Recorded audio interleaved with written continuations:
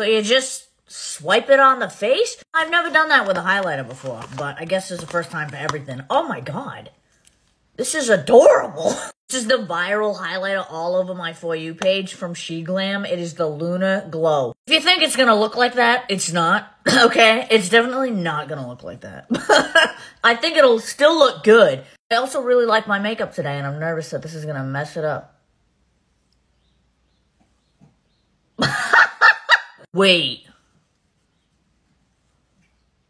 Oh, okay. Maybe I have to break it in? what? Okay, okay, uh, all right. I think I just had to like break it in because nothing was coming on my finger at first. Okay, take two. I think this is gonna go better.